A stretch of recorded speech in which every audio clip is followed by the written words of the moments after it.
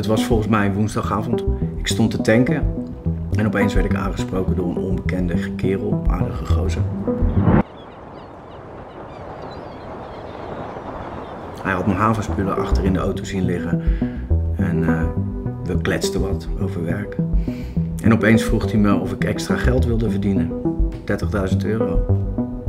Makkelijk klusje, zou niemand kwaad doen. Dat wil iedereen toch wel?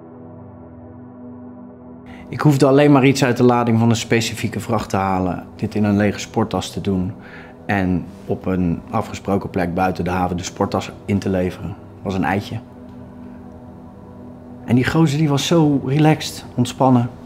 Ik had niet het gevoel dat ik iets fout deed. Ik heb het uiteindelijk vijf keer gedaan, ongeveer. Het voelde best goed. Het ging zo snel en makkelijk. En voor je het weet zit je er helemaal in. Ik had echt niet het idee dat ik er iemand kwaad mee deed. Tot die bewuste dag, tijdens mijn dienst. Mijn chef kwam eraan met een paar agenten. Ja, dan weet je eigenlijk meteen dat het mis zit.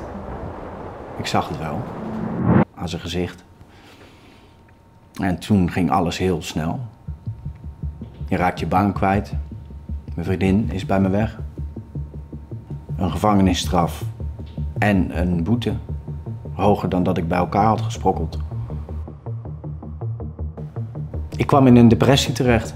At slecht, dronk te veel. Ja, je raakt echt alles kwijt in één klap. Terugkijken doet nog steeds pijn. Ja, waarom heb ik het gedaan?